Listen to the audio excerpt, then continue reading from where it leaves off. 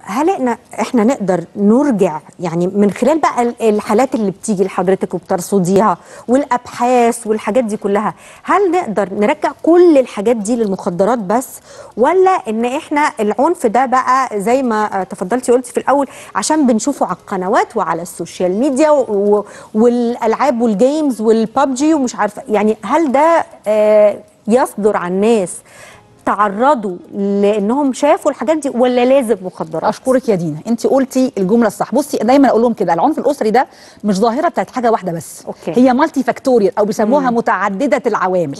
هي أسبابها أحد أسبابها المهمة جدا والخطيرة جدا المخدرات. أحد أسبابها سوء التربية. سوء التربية. الأم والأب ما عندهمش وقت يربوا. أو الأم والأب بيهينوا بعض اللي هو العنف الزوجي قدام أولادهم. تفتكري إيه نوعية الأطفال اللي هيتربوا في بيئة كلها عنف؟ إزاي هيطلعوا يعني ناس أسوياء للمجتمع؟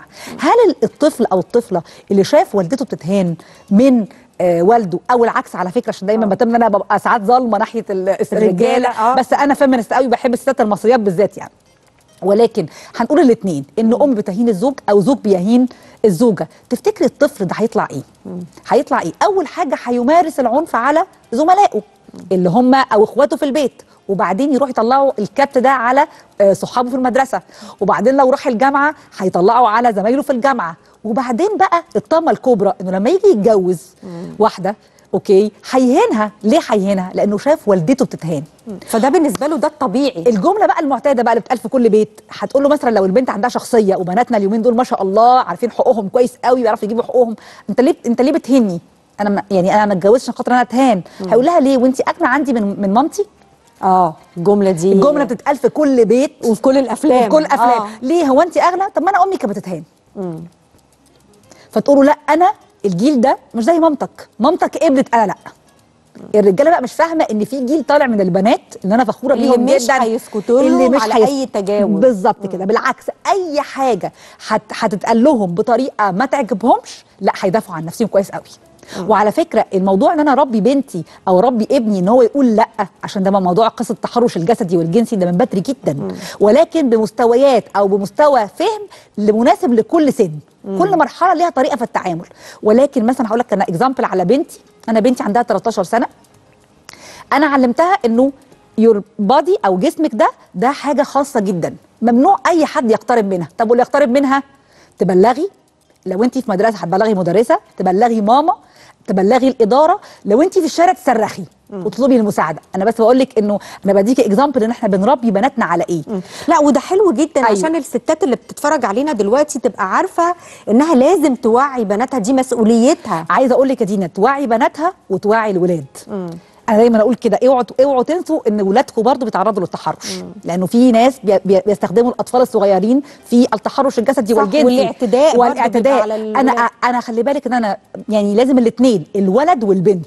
بس برضو وأنا أم ولد لازم أقول له على حدود معينة لاخلاقياته في التعامل مع البنات. يعني انت مش تعلمي بس ابنك إن هو يحافظ على نفسه لا يحافظ على نفسه ويحافظ على آه، آه، البنات التانيين. أيوة. دي النقطة دي الأمهات اللي عندهم ولاد ما, بي ما بيبقوش مدركين ليها قوي أنا معاكي توتالي دي نقطة أنا حاسة كنت بتكلم فيها لسه مع جوزي إنه إحنا نقول آه، الولد خلي بالك إنه البنت اللي قاعدة جنبك دي أختك دي زميلتك.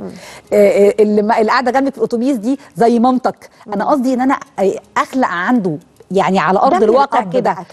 آه، من الأب زي ما في حاجات كده ما بيننا إحنا وبناتنا كستات آه. في حاجات ما بين الأب وابنه ال- الذكر. عشان كده أنا بقول لك إنه الأب والأم ما عندهمش وقت يربوا. عشان كده بقول لك إن الأم متواجدة أكتر بطبيعة إنها موجودة في البيت أكتر. يمكن الأب والأم ساعات بيتشغلوا بشغلهم عن ولادهم يمكن الكورونا دي كانت فترة إن إحنا نقعد مع أولادنا اكتشاف. إعادة اكتشاف وإن إحنا الله ده إحنا اولادنا كبروا ده إحنا محتاجين نوعيهم في الموضوع الفلاني الناس الذكية استثمرت وقت الكورونا ده إن هم يدوا نصايح حلوة لأولادهم يستثمروا وقتهم مع أولادهم الناس اللي اكتئبت واللي خدت من الكورونا ده نوع من بتاعها. أنواع النيجاتيف لا بالعكس هم سابوا اولادهم وهقول لك الأسوأ من كده إن هم اعتدوا على اولادهم يعني للأسف الشديد زي حالات ال- إن هم. مثلا مش لازم يكون اعتداء جنسي أو جسدي آه. ولكن اعتداء لفظي. ما هو إحنا احد انواع ال- العنف اللي إحنا بنعمله لاطفالنا. العنف النفسي.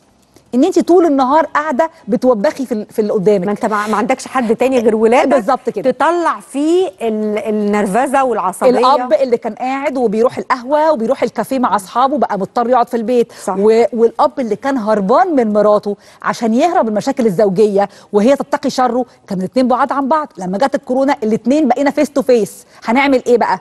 هنطلع الورق القديم وهنتخانق على الورق القديم. عشان كده نسب الطلاق في كورونا زادت تقريبا 30% عن قبل كورونا. يا نهار ودي إحصائية الجهاز المركزي للتعبئة والإحصاء. لأنه الناس آه، كانت بتقول كده كان بنعمل إيه؟ كنا بنخبي يدينا.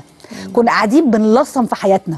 لما عشان ليه؟ عشان الأم كانت قاعدة مشغولة باولادها وعندها شغلها وحياتها والأب. الحياة ماشية. والحياة ماشية. آه. لما بقينا بقى face to face ما قدرناش نستحمل بقى نقعد مع بعض face to face أنا كنت هربان بأصحابي وانت كنت هربانة بالعيال. دلوقتي أنا وانت والعيال في نفس الشقة في نفس قاعدين بنع- بنعمل نفس الحاجة. كلنا خايفين وعندنا توتر. طب هنطلع بقى التوتر على مين؟ على بعض. فنرجع بقى نفتح الدفاتر القديمة. ده انت كنت بتقولي وأنت كنت بتعمل. فاكر لما قلت لي فاكر لما قلت لي مين بقى اللي بيتفرج على الحوارات دي كلها؟ العيال. العيال. يا ريت بقى كمان بنتحاور ومفيش مانع مفيش مانع ان إحنا نختلف دايما بذوق وأدب واحترام. ما أحلى الاختلاف بين الزوج والزوجة بالأدب والاحترام. ليه؟ لأني بعلم ولادي إن القوي مش القوي بال مش القوة البدنية مش القوي بقلة الأدب. لا ده القوي هو اللي بيعرف يتحاور ويوصل لنتيجة. لا ده إحنا بن بنتعامل مع بعض كزوج وزوجة في منتهى العنف قدام أطفالنا.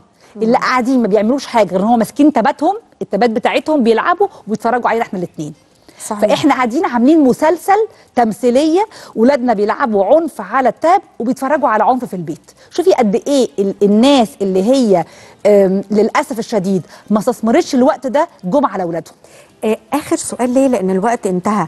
هل في تلافي